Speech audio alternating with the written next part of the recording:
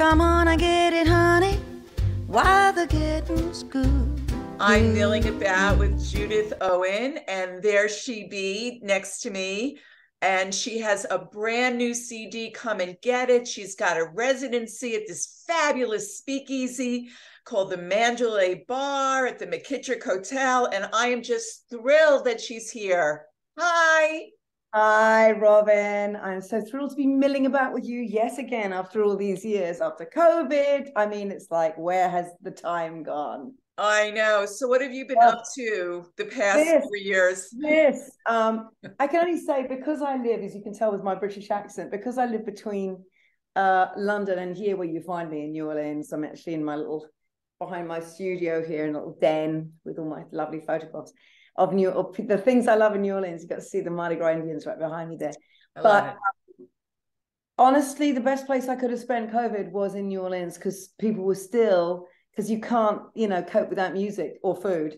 So people were basically taking to the streets, taking to porches, doing performances. There were there was a piano that was like screwed onto the back of a flatbed truck so that you could so that people could drive around town and give concerts.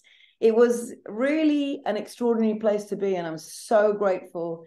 I was here, but the the upside of it for a lot of people, I think, is that you just got more creative and inventive and I just wanted to do something joyful and and something that made me smile and made people happy because I just could not do one more Judith Owen deep, meaningful, full of you know emotion, angst. Um, I album. know. Yeah, and during I- and, and I remember during COVID, you had a you had a show that was like "fuck off" or something. Oh, Robin, for fuck's sake, will remain infamy. for in the world sake. for fuck's sake because as a brit you know i would say every, every two minutes because every two minutes something weird would happen remember and i'd just be like for fuck's sake what now so it became for fuck's sake and then i did that twice a week and it kept me sane and it kept the community that that was tuning in every week twice a week it was amazing it was an amazing lifeline and that when i came down to be down in new orleans full you know full time um uh, that became live from Jude's place, and then it started to become the the basis of of, of this.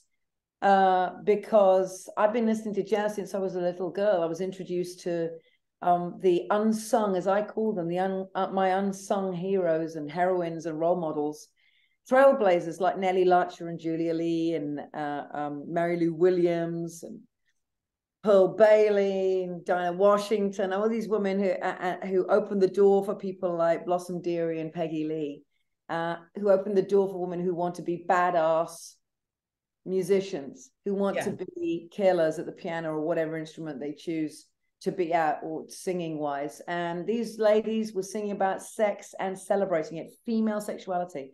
This you know, is such your wheelhouse, Jude. That's all I Oh. have to say. yeah yeah and it's like it, it it's kind of like you know it, it's amazing that 70 years ago these women were singing about stuff that all the way up right now right now women are being told to get back to get back in the corner to get back in their place and to not to dare um act or behave as if they are sexual uh, creatures with with choices over their own bodies and beings. And it's an extraordinary thing that these women were so you know they were such like i said they were pioneers and they were talking about this stuff long since. So i made this album. Of course i made it here. Of course i wanted to do you know make this dream come true um and i had the most remarkable musicians in the world down here i had the time i had the inclination i wanted to be happy smile and want to laugh and and dance around the room and the and the outcome was come on and get it now now it's the super deluxe vinyl let me show you Oh, who, idea who shot who shot those stunning photos? Oh my gosh. Who shot those Um, photos? My friend Rick Guest. He's the most amazing British photographer. And the reason I fell in love with him and his work before we became dear friends is because he uh, he became quite famous for having photographed the Royal Ballet in London.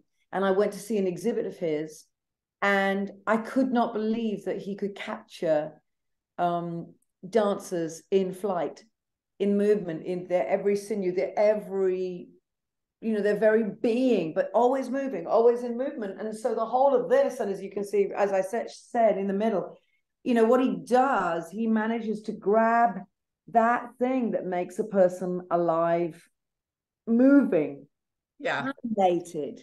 And I'm an animated performer. So that's what he got. And he knew I was going for the kind of Rita Hayworth, Katharine Hepburn, Dietrich crossover. I'm a woman in a suit with a lot of big hair. I was going to say, ruling, you know, ruling the stage, ruling her gentleman callers.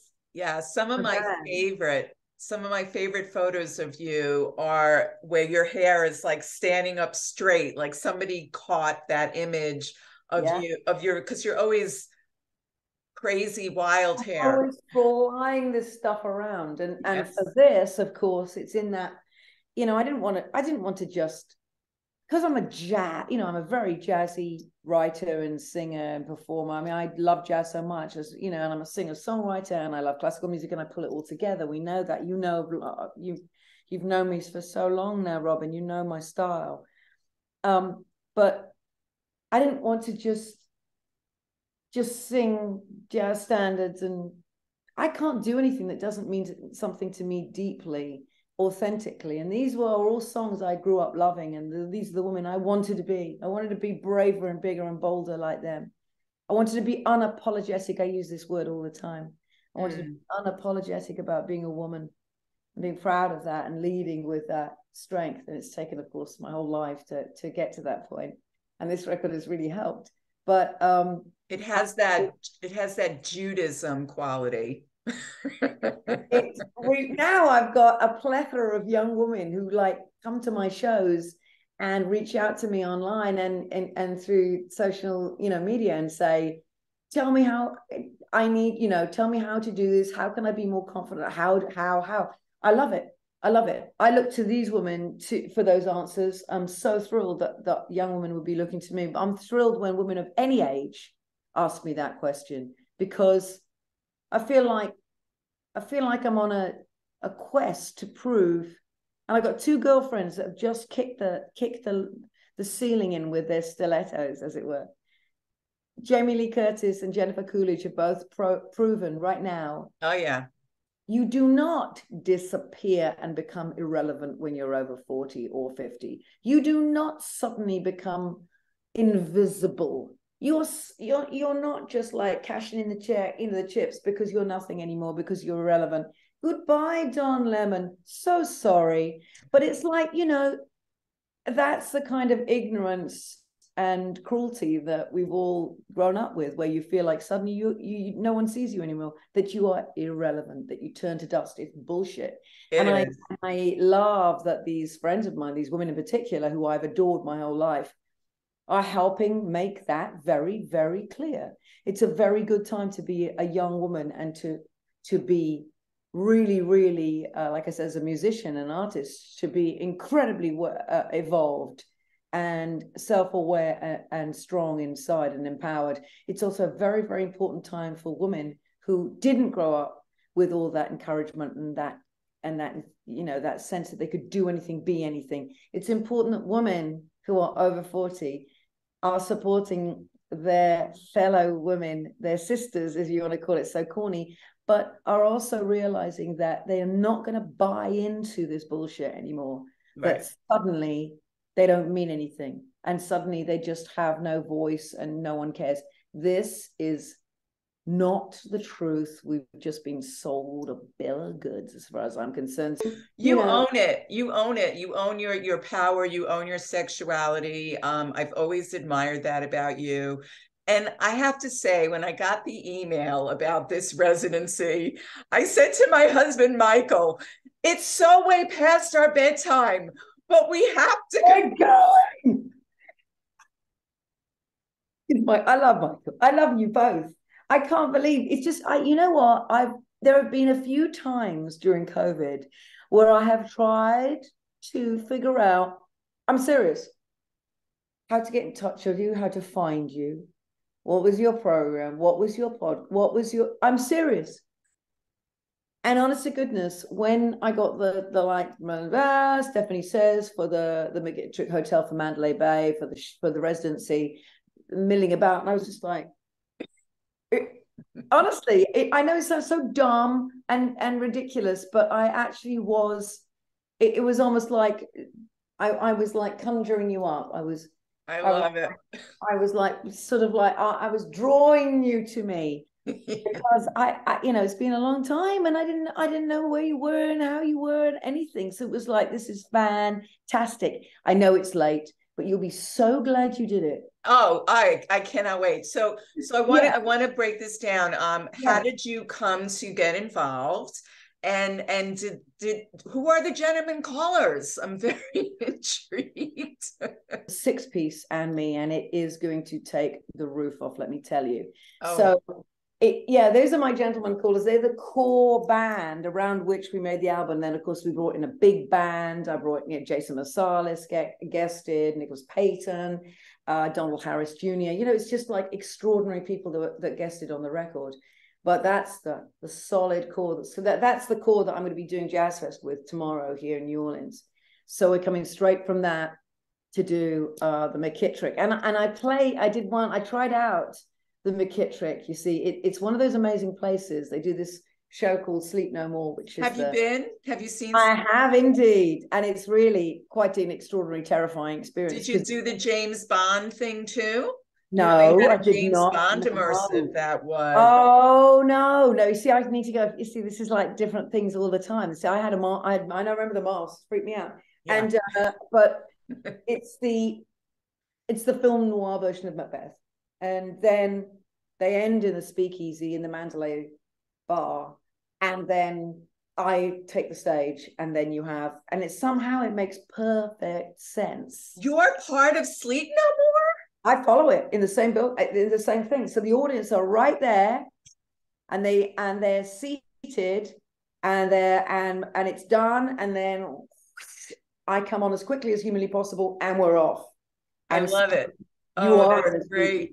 and you're having a late night, a late That night. okay, now that makes sense because now I remember the ending to Sleep No More. We wound up in this bar behind me. Yes. So so That's it. it's going to be That's so it. awesome. and it just it, it's right for this music it's it's you know this is sexy music dripping with double entendre and innuendo you know this is exactly what where it should be it should be in a dirty red dark room Let's Yeah, talk please. about some of the songs on there. So um I love the name of this King Size Papa.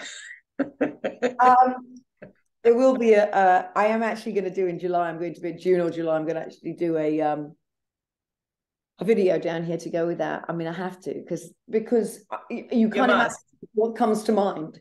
But I got to tell you that king size papa, I, I got a man that's almost eight foot tall, four foot and that ain't all. King size papa. And the punchline is, they take the door off the hinges when my baby comes to call. And it's just like, what a line. They take the door off the hinges when my baby comes to call. I mean, I get goosebumps just saying it. This is what I mean. The humor, the joy of these women in their best, sexy, flirtatious way. You know, when they're the, they're the band leader, they're in control. They're like they're they're doing it. They're in, and there's gorgeous men around them playing. It's fantastic. I can't. I, I tell you, there's nothing better. But King Size Papa is just. It's alluding to you know a big man, Robin. Okay, you forced me to say it. It's alluding to a big man. I got a man that's more than eight foot tall, four foot shoulders, and that ain't all. King size papa. He's my king size papa. I take the door off the hinges when my baby comes to call. A big man. um, what about my man's an undertaker? No, Well, no. you see, now these are the bonuses that are on the fabulous yes. Lux. Um, it's a great, it's such a great song. My man's an undertaker. Um, he's got a coffin just your size. It is such. it- It's a Dinah Washington. So she, you know, she like made it famous. I mean, these these weren't none of these songs really were were songs that at the time, you know, were meant for for white people to hear because God knows, you know, they would have you'd have died of horror. Uh, it was basically, you know, for African American audiences, for the black audience, and it's like, and that's why they're so good, is because you know, they're not like namby pamby wet songs. These are just like, yeah, these are like get you in the solar plexus. And um the idea that it's like you're out, he's in, he's an undertaker, and if you're not careful and bother me anymore, he's gonna put you in a coffin and take you out your feet going first. I mean, it's just like it's so good.